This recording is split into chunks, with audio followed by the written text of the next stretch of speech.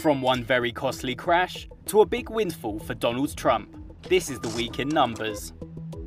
Up to $4 billion could be the hit to insurers after a cargo ship knocked down a bridge near Baltimore Port. That's according to one expert estimate. It could make it the worst ever marine insurance loss, topping the previous record set when the Costa Concordia luxury liner overturned in 2012.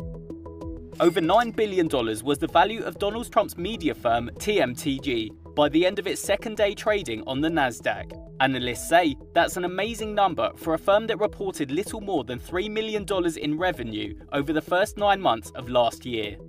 Wealth Alliance president Eric Diton says the company behind the Truth Social network looks like a classic meme stock. Roughly half the country is supporting Donald Trump, and um, and he's got some financial difficulties. And I think there's a lot of people out there that just say, I'm going to buy the stock just to help the Donald. Um, and they're doing it. About $30 billion is how much it's costing Visa and MasterCard to settle a legal battle over the fees they charge to retailers. The payments giants have now agreed to reduce the fees as part of a move to end lawsuits that alleged overcharging.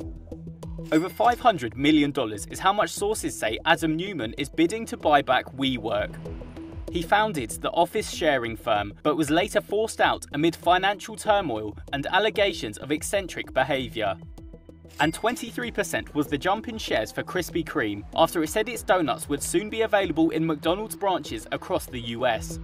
It could be a timely boost for the burger chain too, amid signs that a cost of living crunch has people cutting back on fast food.